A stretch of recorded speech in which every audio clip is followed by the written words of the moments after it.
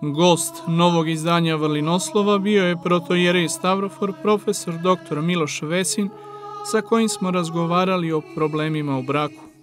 Bračne probleme bismo definisali kao sva ona iskušenja na koja bračnici nailaze, iskušenja koja isto tako snalaze ljude koji sami žive. Prema tome, posebno svaka vrsta zajednice neminovno uključuje i različitost karaktera, različitost temperamenata i samim tim je onda prosto nekada neminovno da dođe i do problema.